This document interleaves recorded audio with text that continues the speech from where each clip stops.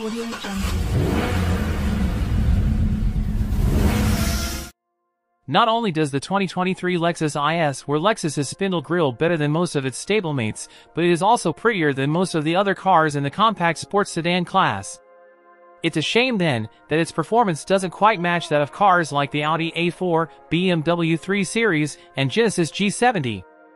Even the top-spec IS 500, with its range-topping V8 engine and the IS's best suspension, fails to be as crisp handling and rewarding as we'd hope for in a sports sedan.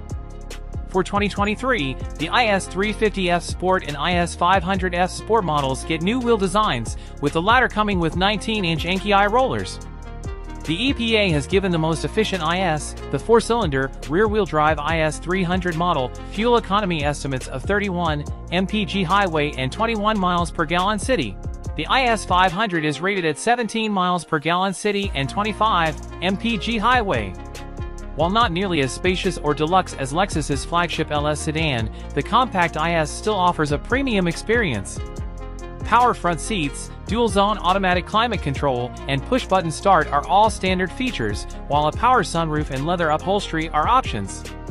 When the IS was redesigned for the 2021 model year, Lexus made few changes to the interior, but a discerning eye will notice relocated cup holders, round air vents near the door panels, and an infotainment system that's been moved closer to the edge of the dashboard.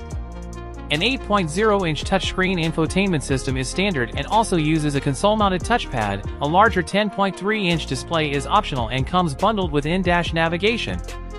Don't forget to subscribe, like and leave me a comment to tell me how you found the car.